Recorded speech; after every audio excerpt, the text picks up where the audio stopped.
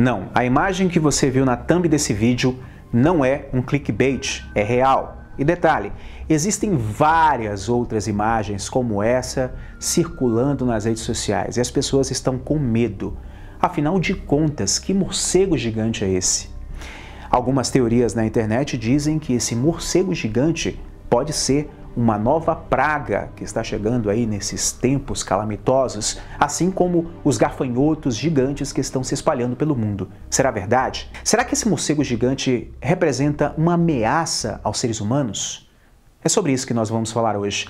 Lembrando que o like fica a sua preferência e o sininho é serventia da casa.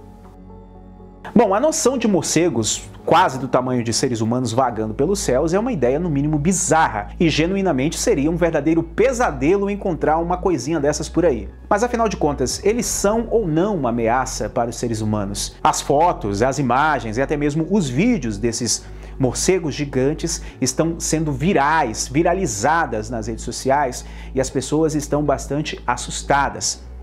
Eles são conhecidos como megabats, ou seja, mega morcegos, e estão chocando as redes sociais. Antes da gente continuar, eu queria reforçar o convite para que você se inscreva, ative o sininho, verifica se o sininho está ativado, verifica se você marcou a opção receber todas as notificações desse canal, mas não espere o YouTube te notificar, venha todos os dias aqui conferir se você está me assistindo pela página de Facebook, siga a página e venha se inscrever também em nosso canal no YouTube. Que espécie de morcego é essa? Quando surgiu? De onde veio? É um perigo para nós? Endêmica das selvas das Filipinas, essa enorme espécie de morcego com certeza é o maior catalogado do mundo, com uma envergadura de até 5 pés e meio. E detalhe, ele só anda de colônias que podem chegar até 10 mil morcegos. Bom, você percebeu que além de gigante, ele só gosta de andar de gangue, né? Bom, encontrar um morceguinho desse por aí já deve ser assustador. Imagina encontrar vários. Mas afinal de contas, esse morcego representa um perigo real para nós, os seres humanos, ou não? Bom, felizmente para nós, os seres humanos, essa enorme espécie de morcego é herbívora. Ou seja, só se alimenta de frutas, folhas e verduras. Ironicamente, esses morcegos são bastante inofensivos e não representam é, diretamente falando, um perigo real para nós, os seres humanos, tá? Mas é claro que ele pode transmitir doenças se você tiver um contato muito próximo a ele, se você comer a carne dele, enfim, coisa que a gente já conhece de morcegos pequenininhos. Tá?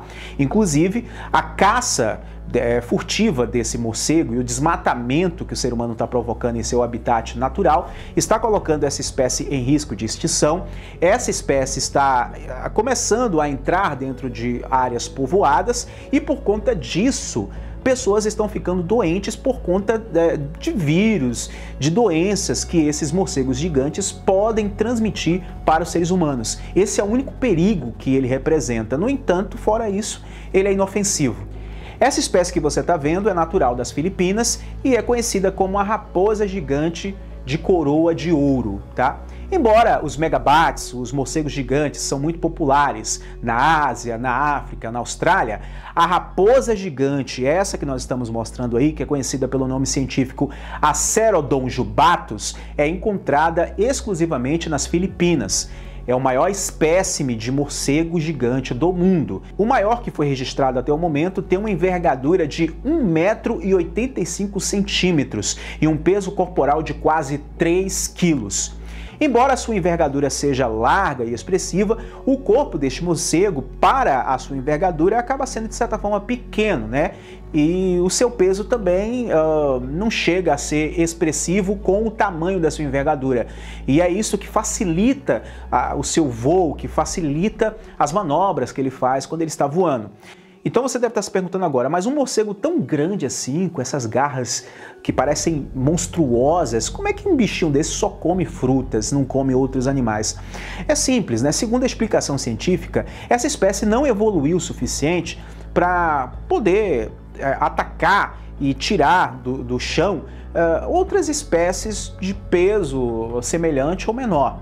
Essa criatura herbívora depende exclusivamente de frutas e geralmente se alimenta ao entardecer. Ele gosta de figos e folhas e come cerca de um terço do seu peso corporal todas as noites. Durante o dia, ele costuma dormir e, na verdade, ele gosta de dormir em grupo. Ele não gosta de ficar sozinho. Ele não é o, estilo solitário de plantão.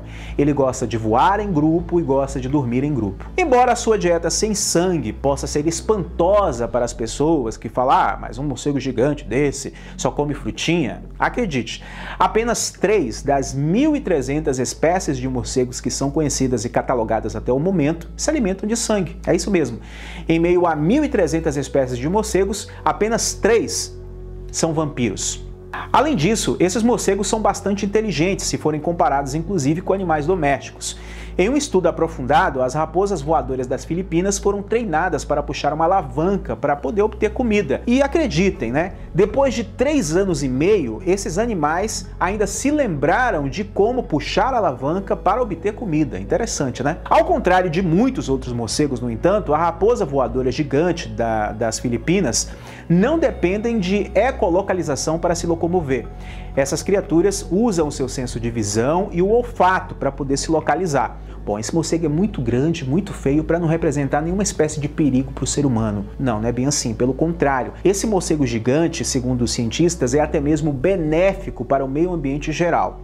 A dieta à base de frutas da raposa voadora ajuda a propagar mais plantas. Depois de comer, a raposa voadora redistribui as sementes de figo eh, que fica ali em suas fezes por toda a floresta, ajudando a brotar novas figueiras.